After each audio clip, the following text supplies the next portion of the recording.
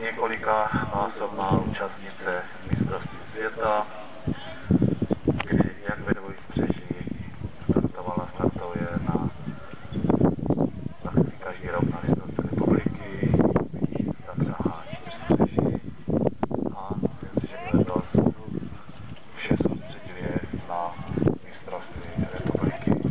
Je stálou účastnící finále Zlaté podkovy a, jak jsem ji řekl, patří k velmi zkušeným jeskyním,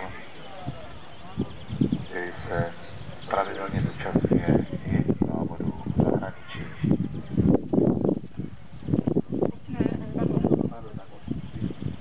A v době, kdy Katka začínala,